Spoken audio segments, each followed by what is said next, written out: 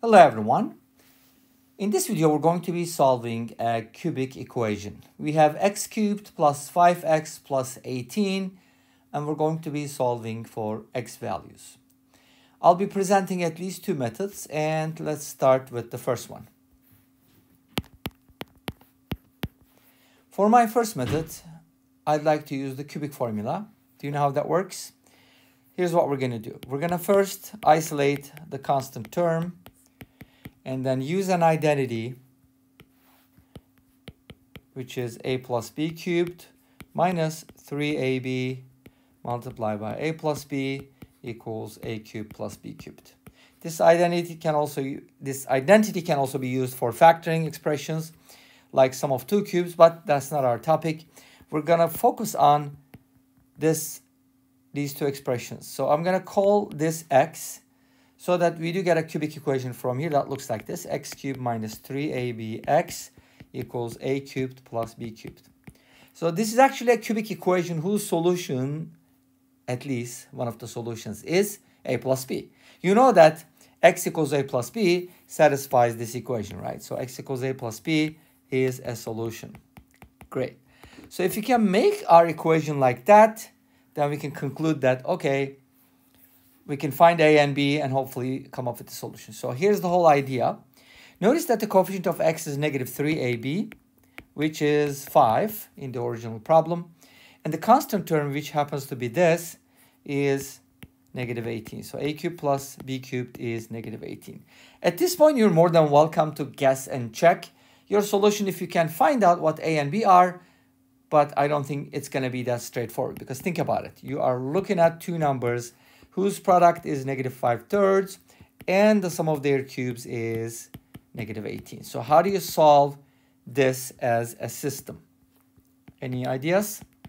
So you can definitely go ahead and do a lot of substitutions like you can isolate b or a from here, plug it into the second one. But I have a better idea. I want to cube both sides here. Okay, that gives me a cubed plus b cubed is equal to negative 125 over 27. And then I want to go ahead and from here isolate b cubed and write it as negative 18 minus a cubed. And then I want to take this and use it here. Look at that. Isn't that cool? That gives us the following. a cubed multiplied by negative 18 minus a cubed equals negative 125 over 27. And then if you distribute negative 18a cubed minus a to the 6th power equals negative 125 over 27. And then add the terms on the left-hand side on both sides, I mean the opposites, so that you can put everything on the right-hand side, which will become the left-hand side now. So it's going to look like this. a to the 6th power plus 18, a to the 3rd minus 125 over 27 equals 0. Should be 0 equals that, but I just switched sides. Hopefully that's fine. Now we did get a hexic equation, but that's kind of like a bi or tri quadratic. What do I mean by that? You can replace a cubed with something like c, and from here you get c squared plus 18c minus 125 over 27 equals 0. So this is quadratic, obviously, but then we'll use the back substitution formula. How do you solve it? Negative b plus minus the square root of b squared, which is 324, minus, which turns into plus sign, for ac, that's going to be 500 divided by 27. Uh-oh, we're going to have to deal with very large numbers. Guess what? I'm not going to deal with them. I'm just going to leave it as is. But one thing that might be a little bit of helpful is maybe try to factor something out of these. Like if you, if you, if you can find a common factor, obviously 324 is 18 squared, so that could be written as, let's see, 2 times 3 squared squared, which is 2 to the second times 3 to the fourth. In other words, 81 times 4. And 500 can be written as 5 times 10 squared, which is 2 times 5 squared, which is 5. 2 squared times 5 to the third. So from here, you immediately get that 4 is the only common factor. It's not going to help a lot, but just a little bit maybe.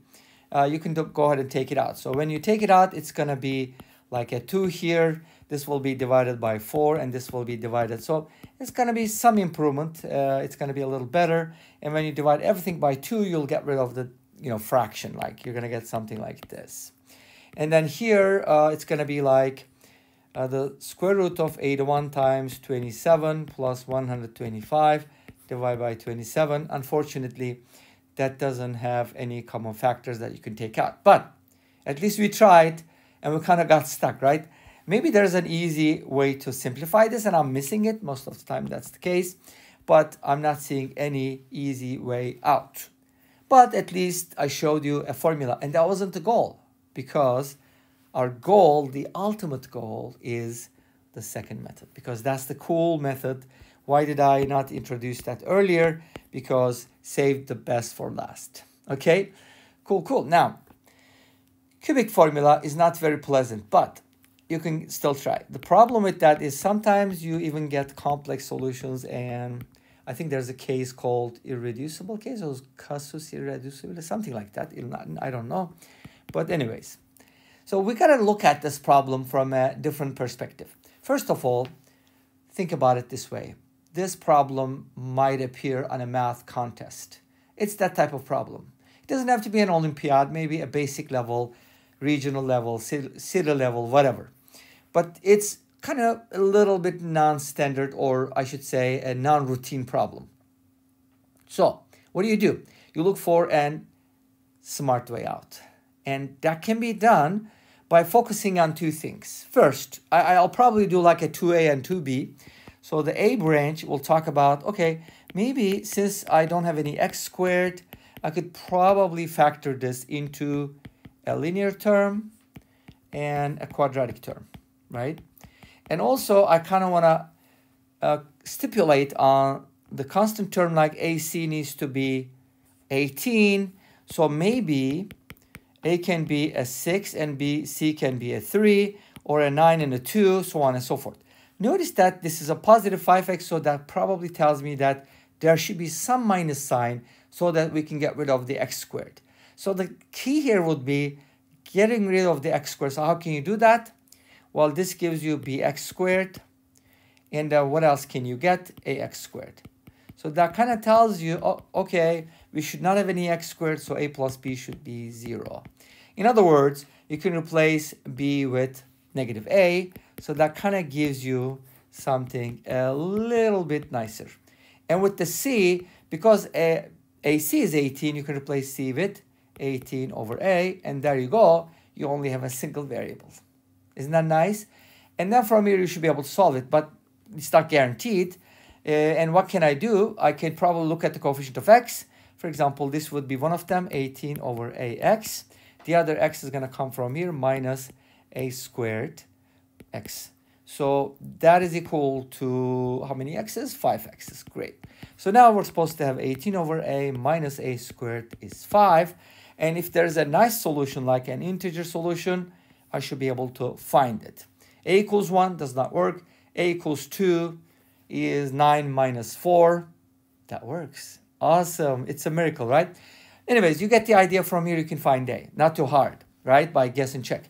But I have the 2b or not 2b. That's why I split it up.